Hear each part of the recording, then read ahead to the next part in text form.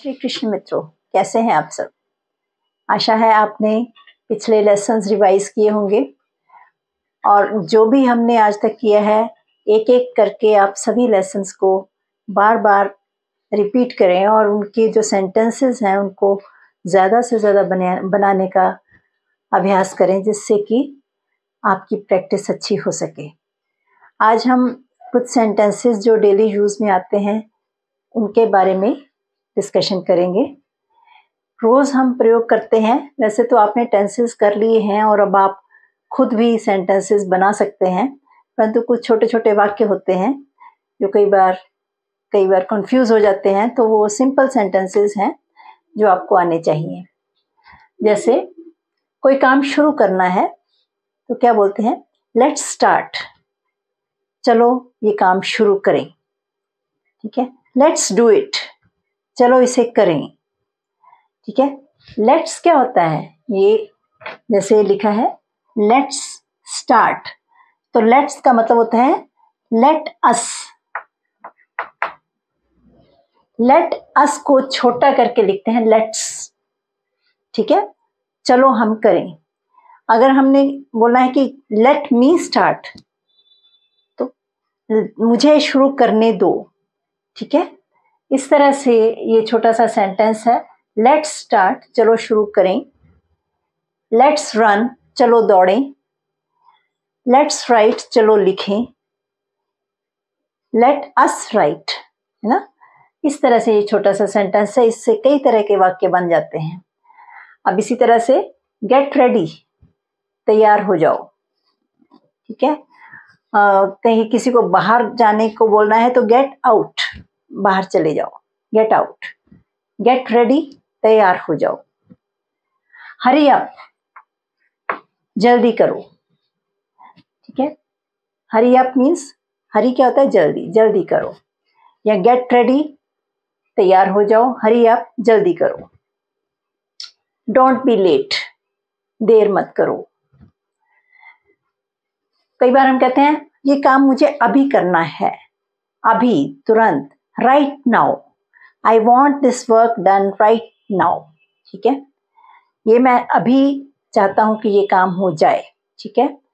तो do this work right now simple वाक्य बना रहे हैं। Do this work right now right now means अभी, तुरंत। अब एक सेंटेंस छोटा सा ये इंपेरेटिव सेंटेंस है। कुछ सेंटेंस ज़्यादातर सेंटेंसेस इंपेरेटिव हैं। जिस, जैसे किसी को ऑर्डर देते हैं इंस्ट्रक्शन देते हैं, या सलाह देते हैं। तो ये सिंपल सेंटेंस इंपेरेटिव सेंटेंस है wring out the towel wring out क्या होता है? निचोड़ना। तौलिए को निचोड़ दो। ठीक है? रिंग इसमें डब्ल्यू साइलेंट है। W R I N G wring out निचोड़ना। The towel या रिंग आउट द क्लोथ्स फिर क्लोथ्स के स्पेलिंग क्या होंगे? C L O T H E S जो क्लोथ्स जो सिले हुए क्लोथ्स हैं, हमने धोए हैं तो वो उनके spelling C L O T H E S होंगे। क्लॉथ जो सिले नहीं होते, उसको क्लॉथ बोलते हैं C L O T H उसमें ई e पीछे नहीं लगता। तो रिंग आउट द टॉवल या रिंग आउट द क्लोथ्स अब अगर हमने कहना है नींबू निचोड़ दो तो रिंग आउट नहीं बोलेंगे तो बोलेंगे squeeze the lemon S Q U double E Z D squeeze squeeze the lemon नींबू निचोड़ दो, ठीक है? ये डिफरेंस है। कपड़े को निचोड़ना है तो रिंग आउट और लेमन को निचोड़ना है तो स्क्वीज अब आगे है, जैसे ट्राई अगेन आपसे नींबू नहीं निचोड़ रहा है तो दूसरा कह रहा है ट्राई अगेन इसको दोबारा ट्राई करो, दोबारा अभ्यास करो ताकि ये अच्छी तरह से निचोड़ा जा सके। अब बच्चों की कई बार बात करते हैं children fall over out over trifles बच्चे छोटी छोटी बातों पर लड़ पड़ते हैं छोटी छोटी बातों पर बिगड़ जाते हैं। ट्रिफल्स क्या होती हैं? छोटी छोटी बातें, जिनका कोई महत्व नहीं होता। Children fall out over trifles means बच्चे छोटी छोटी बातों पर लड़ पड़ते हैं या बिगड़ जाते हैं। और इनको हम अवॉइड कर सकते हैं। T R I F L E S trifles ठीक है? अब अगर हमने नलके को बंद करना है तो क्या बोलते हैं? टर्न ऑफ़ द टैप नलके को बंद कर दो और नलके को खोल दो। टर्न ऑन द टैप नलका खोल दो। यानी उसको टर्न करना है ऑन कर देना ठीक है? टर्न ऑन और बंद करना है turn off the tap T A P tap क्या होता है? नलका।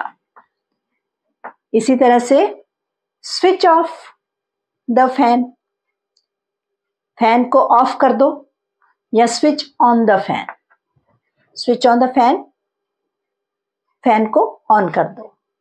या रेडियो कह सकते हैं switch off the radio radio को बंद कर दो स्विच ऑन द रेडियो ठीक है? इसी तरह से ये जो है एक्सक्लेमेटरी वाक्य है. हाउ टेरिबल कितनी भयानक बात है। ठीक है? कितना कोई चीज़ आप एक्सीडेंट देखते हो हाउ टेरिबल ये एक्सक्लेमेटरी वाक्य है, जिसके पीछे ये हम फिर आगे करेंगे, अगर अभी नहीं किया है तो आगे करेंगे। टेरिबल भयानक। तो इसके पीछे इस तरह जैसे पूर्ण विराम होता है ना, वो लगाकर नीचे बिंदी लगाई जाती है, इसे एक्सक्लेमेटरी मार्क ऑफ़ एक्सक्लेमेशन कहते हैं। या हाउ लवली कोई चीज़ बहुत सुंदर है तो कितना सुंदर हाउ लवली ये एक्सक्लेमेटरी सेंटेंसेस हैं। हाउ मीन्स कितना, ठीक है? Blow out the candle blow out the candle means मोमबत्ती को फूक मारकर बुझा दो। ब्लो आउट अपनी फूक से कैंडल क्या होती है? मोमबत्ती को बुझा दो। इसी तरह से हम कहते हैं ब्लो आउट योर नोज़ इसका मतलब क्या होगा? अपना नाक साफ़ करो। बच्चों को कह देते हैं हैंकी से blow out your nose means hanky से अपना नाक साफ़ करो। फूक मारो जिससे आपका नाक साफ़ हो जाए। ठीक है? इस तरह से ये शब्द डेली रूटीन के जो हमारे डेली यूज़ के जो सेंटेंसेस हैं, ऐसे प्रयोग होते हैं। इसी तरह से हम कहते हैं gambling is an evil gambling क्या होता है? जुआ खेलना। इविल एक बुराई है। ठीक है? Gambling is an evil drug addiction is an evil ठीक है? ड्रग्स लेना एक बुराई है। इसी तरह से और कई सेंटेंसेस होते हैं, जैसे थ्रेड द नीडल सुई में धागा डाल दो। नीडल क्या होती है? सुई, जिससे कपड़े सिलते हैं। और थ्रेड क्या होता है? धागा। अब सुई में धागा डालना है तो सिंपल वाक्य बन जाता है थ्रेड द नीडल इसमें कोई और शब्द प्रयोग नहीं होता। अब अगर कई बार हम कहते हैं don my coat don D A R N don my coat C O A T मेरा जो कोट है, इसको रफू कर दो। डान माई कोट इसी तरह से set the alarm at five alarm पाँच बजे का लगा लो। सेट कर लो, ठीक है? Set the alarm at five, पाँच बजे का अलार्म लगा दो। अब कई बार हम कहते हैं कि किसी पामिस्ट के पास जाते हैं तो क्या बोलते हैं?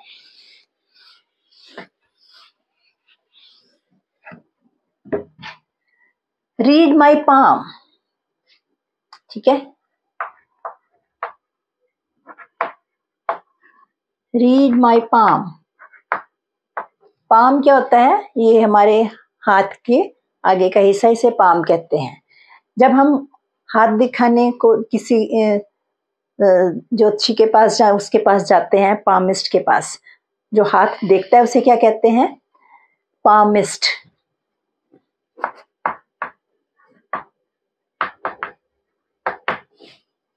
हस्तरेखा विशेषज्ञ जिसे बोलते हैं। वो हाथ देखकर भविष्य बताते हैं। तो रीड माई पाम मीन्स मेरा हाथ देखो, या हाथ पढ़ो, या हाथ देखो, कुछ भी कह सकते हैं। ठीक है? इसी तरह से होते हैं एस्ट्रोलॉजर्स एस्ट्रोलॉजर्स कौन होते हैं? ज्योतिषी, जो हाथ नहीं देखते, जो आपके जो कुंडली देखते हैं या वो जो आपके जो स्टार्स हैं उसके बारे, आपके ग्रह के बारे में बताते हैं, उसे एस्ट्रोलॉजर कहते हैं। ठीक है? Astrologer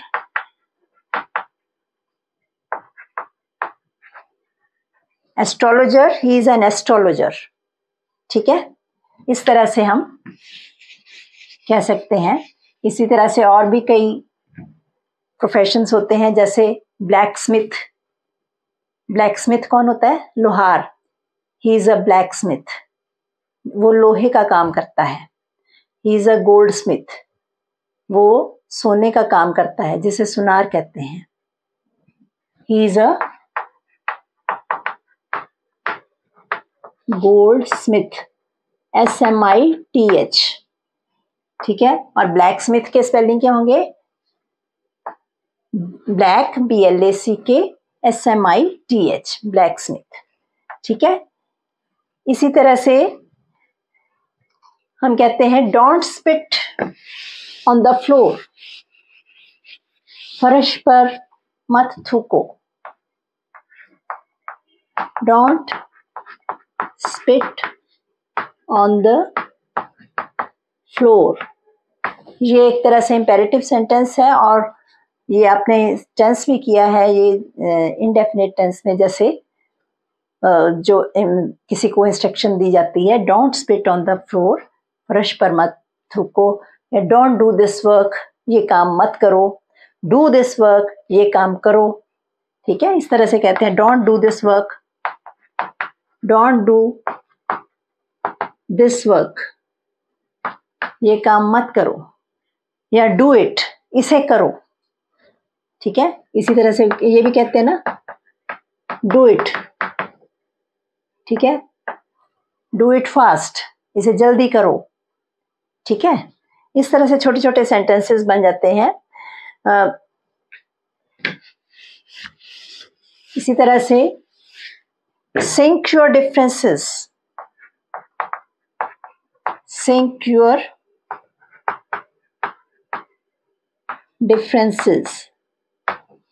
अपने मतभेद भुला दो। सिंक का मतलब वैसे क्या होता है? डूबना। ठीक है? डुबा दो।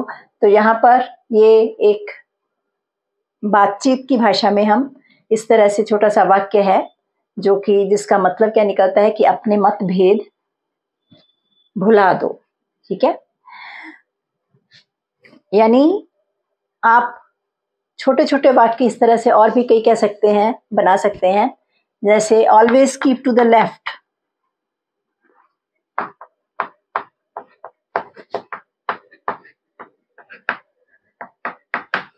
हमेशा बाएँ हाथ चलो। You have done a good job आपने अच्छा काम किया है। से कुछ और वाक्य जैसे लेट गो माई हैंड मेरा हाथ छोड़ दो। यानी मेरे हाथ को जाने दो, छोड़ दो। लेट मी गो मुझे जाने दो। ठीक है? इनमें थोड़ा सा डिफरेंस है, परंतु मतलब आपको उसका स्पष्ट होना चाहिए। He is addicted to drinking addicted to क्या मतलब होता है? आदि है। ड्रिंकिंग क्या होता है? अब जैसे ड्रिंक पानी तो सब पीते हैं। आई ड्रिंक वाटर जब हम पानी पीते हैं तो कहते हैं I drink water I drink milk परंतु जब सीधा लिखा होता है ड्रिंकिंग तो ज़्यादातर वो शराब के लिए प्रयोग किया जाता है. ही ड्रिंक से लॉट वो बहुत पीता है. इसका मतलब शराब पीता है. ड्रिंक्स जैसे ये इंडेफिनेट में हो गया ना? तो इसी तरह he is addicted to drinking वो शराब का आदि है. गिव अप ड्रिंकिंग शराब छोड़ दो. शराब पीना छोड़ दो. इसी तरह हम कह सकते हैं give up smoking give up मतलब छोड़ दो। सिगरेट पीना छोड़ दो। इसी तरह से गिव अप गैम्बलिंग जुआ खेलना छोड़ दो। ठीक है? टर्न अराउंड पीछे मुड़ो। जब हम किसी को ऑर्डर देते हैं कि सीधे खड़े हैं you are standing straight now you turn around पीछे मुड़ो। We are in a hurry हम जल्दी में हैं। We are not in a hurry हम कोई जल्दी में नहीं हैं। The loaf is under baked loaf क्या होता है? रोटी। रोटी का टुकड़ा या रोटी, जो छोटी सी रोटी होती है is under baked under baked मतलब रोटी कच्ची है, यानी अच्छी तरह से पकी नहीं है। अंडर बेक्ड बेक करते हैं, रोटी को या तवे पर पकाते हैं तो अंडर बेक मीन्स कुछ कच्ची रह गई है। इसी तरह अगर हम कहें the loaf is over baked तो रोटी जल गई है। ओवर बेक्ड क्या होता है? ज़्यादा बेक हो जाना, ज़्यादा पक जाना। ठीक है? इसी तरह से कई बार हम कहते हैं she is feeling giddy giddy क्या होता है? चक्कर आना। उसे चक्कर आ रहे हैं। Giddy G I double D Y call in the doctor doctor को बुलाओ या सेंड फॉर द डॉक्टर वो भी यही होता है, किसी को बुलाना। सेंड फॉर द डॉक्टर या कॉल इन द डॉक्टर तो the doctor felt the pulse pulse क्या होता है? नबज। डॉक्टर ने नबज देखी। परंतु यहाँ पर सी नहीं कह सकते, क्योंकि वो फील की जाती है, अनुभव किया जाता है पकड़ कर तो उसको क्या कहते हैं? द डॉक्टर फेल्ट फेल्ट कौन सी फॉर्म है? सेकेंड फॉर्म है। फील फेल्ट द फेल्ट ठीक है? The doctor felt the pulse P U L S E pulse क्या होता है? नबज.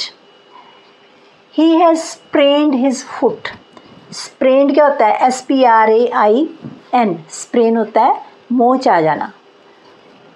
उसके पाँव में मोच आ गई है. ही हैज़ स्प्रेंड उसका यानी चलते चलते जब पैर एकदम से टेढ़ा हो जाता है और मोच आ जाती है तो उसे स्प्रेन कहते हैं. He has sprained his foot इसी तरह से I have sore throat I have sore throat यानी मेरा गला ख़राब है, मेरे गले में खराश है। थ्रोट क्या होता है? गला। ठीक है? इसी तरह से prevention is better than cure prevention क्या होता है? Prevention is better than cure परहेज प्रिवेंशन होता है परहेज और क्योर क्या होता है? इलाज. इलाज से परहेज बेहतर है. ये जो कंपैरेटिव डिग्री में आ गया दैन यहाँ पर डैन नहीं लगेगा T H A N than लगेगा. दो चीज़ों में कंपैरिजन हो रहा है. इलाज से परहेज परहेज होता है प्रिवेंशन ठीक है? प्रिवेंशन इज़ बेटर प्रिवेंशन बेहतर है. किस से दैन क्योर इलाज से. ठीक है? इसी तरह से the bargain is truck the bargain is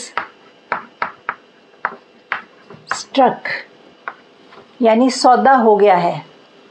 the bargain is struck कि जब हम किसी चीज़ का सौदा कर लेते हैं, उसे बारगेनिंग भी कहते हैं। जैसे कई बार हम भाव करते हैं कहीं जाकर, कोई चीज़ें ज़्यादा ख़रीदते हैं तो उसे बारगेनिंग कहते हैं।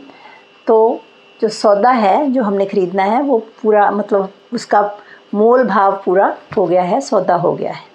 ठीक है?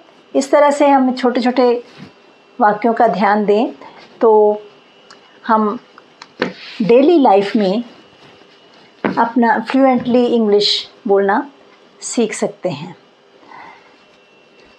आप आशा है इस तरह से कई वाक्य बनाएँगे और उन्हें, उनकी प्रैक्टिस करेंगे और उनको बोलने का अभ्यास करेंगे, जिससे आपकी इंग्लिश में फ्लुएंसी बेटर होगी। धन्यवाद स्टे ब्लेस्ड